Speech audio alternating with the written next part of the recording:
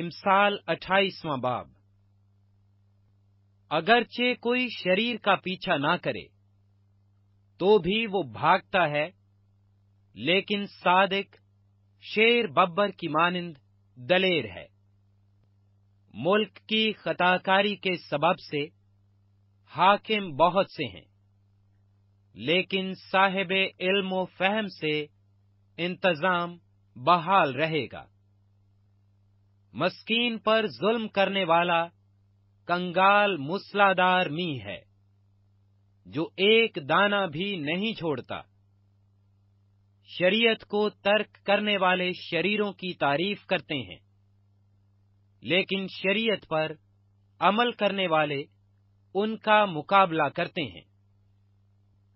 شریر عادل سے اگا نہیں، لیکن خداوند کے طالب سب کچھ سمجھتے ہیں۔ راسترو مسکین کجرو دولت مند سے بہتر ہے۔ تعلیم پر عمل کرنے والا دانا بیٹا ہے۔ لیکن مصرفوں کا ہم نشین اپنے باپ کو رسوا کرتا ہے۔ جو ناجائز سود اور نفع سے اپنی دولت بڑھاتا ہے۔ وہ مسکینوں پر رحم کرنے والے کے لیے جمع کرتا ہے۔ جو کان پھیر لیتا ہے کہ شریعت کو نہ سنے، اس کی دعا بھی نفرت انگیز ہے۔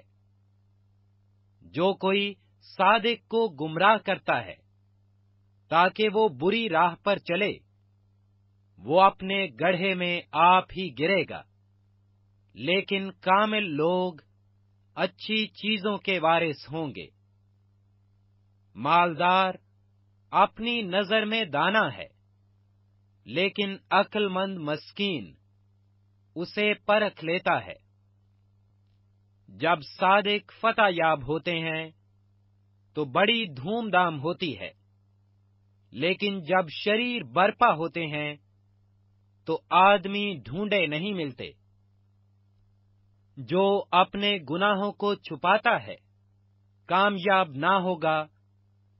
لیکن جو ان کا اقرار کر کے ان کو ترک کرتا ہے، اس پر رحمت ہوگی۔ مبارک ہے وہ آدمی جو سدا ڈرتا رہتا ہے، لیکن جو اپنے دل کو سخت کرتا ہے، مصیبت میں پڑے گا۔ مسکینوں پر شریر حاکم گرجتے ہوئے شیر اور شکار کے طالب ریچھ کی مانند ہے۔ بے عقل حاکم بھی بڑا ظالم ہے، لیکن جو لالچ سے نفرت رکھتا ہے، اس کی عمر دراز ہوگی۔ جس کے سر پر کسی کا خون ہے، وہ گڑھے کی طرف بھاگے گا۔ اسے کوئی نہ روکے۔ جو راست رو ہے رہائی پائے گا، لیکن کج رو ناگہاں گر پڑے گا، جو اپنی زمین میں کاشتکاری کرتا ہے۔ روٹی سے سیر ہوگا، لیکن بطالت کا پیرو بہت کنگال ہو جائے گا۔ دیانتدار آدمی برکتوں سے معمور ہوگا، لیکن جو دولت مند ہونے کے لیے جلدی کرتا ہے بے سزا نہ چھوٹے گا۔ طرفداری کرنا خوب نہیں۔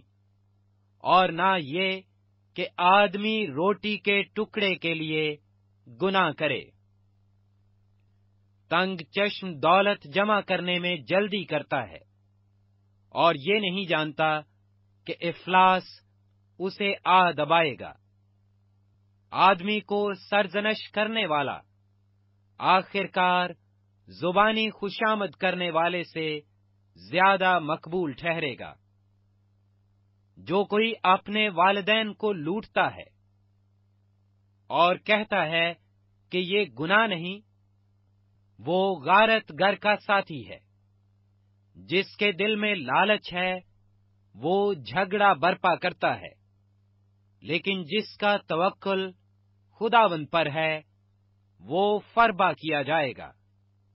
جو اپنے ہی دل پر بھروسہ رکھتا ہے بے وقوف ہے۔ لیکن جو دانائی سے چلتا ہے، رہائی پائے گا۔ جو مسکینوں کو دیتا ہے، محتاج نہ ہوگا۔ لیکن جو آنکھ چراتا ہے، بہت معلوم ہوگا۔ جب شریر برپا ہوتے ہیں، تو آدمی ڈھونڈے نہیں ملتے۔ لیکن جب وہ فنا ہوتے ہیں تو صادق ترقی کرتے ہیں۔